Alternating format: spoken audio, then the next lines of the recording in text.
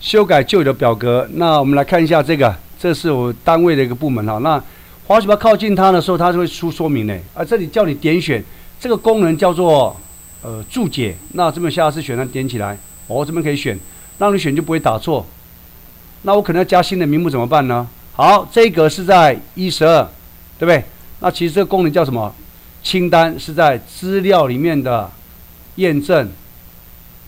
来，这个这个地方，它告诉你参考位置在哪里？A F 四到 A F 五十四范围。那达到三是绝对位置，从 A F 四到 F 五十四，我要加一笔哦。所以呢，A F 五十四，来卷轴往下拉。A F 五十四，A F 四在这里，对不对？到五十四，五十四，所以呢，在这里，我再加一笔，好，九九，OK。打个简单就好了。那改完资料改完以后，你得告诉你的清单啊，再回到原来地方来。我们范围改喽，又增加一个新的名目，增加一个新的名目是在哎，刚是在一十二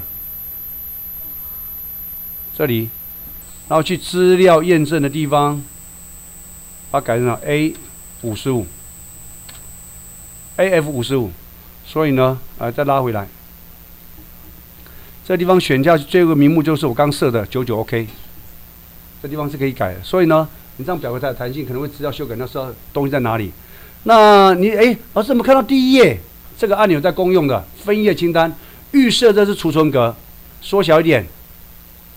这个，这一颗，那点这是什么？A 四模式，确定哦，确定哦。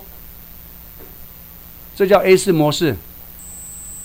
这是 A 纸张印出来这样啊，那点这里呢，它会帮你加编号。什么叫编号？顺便再提醒你，有要印的地方才出来，其他这些它不会出现。这一颗，我们设定，如果你设定列印范围的时候，OK 吗？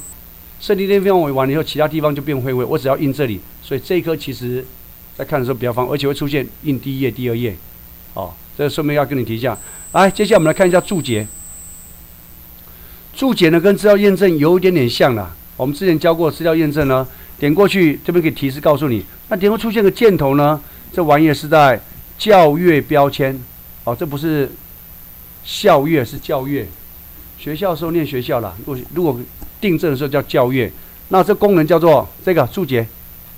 好，编辑注解，来，我点这一颗了，承办人对不对？来加喽，校阅地方什么？新增注解，出现名字了，哦，告诉人家这里要输入怎样？哦，是随便打喽。请输入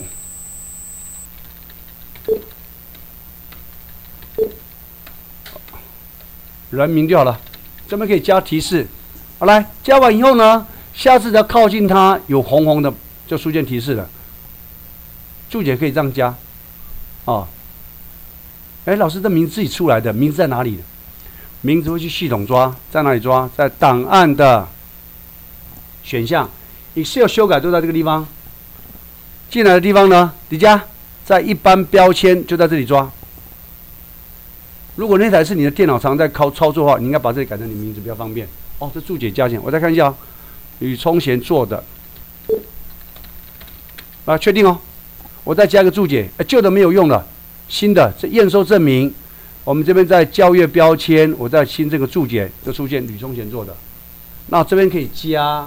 说明的提示，通常移过来的时候，你这里，他告诉你，请你点选啊，这里呢，哦，这个功能，你只要看到红色右上角，哎，记得灯打这个，我要提醒你，就打在这里，哦，这可以加，来，各位试看看。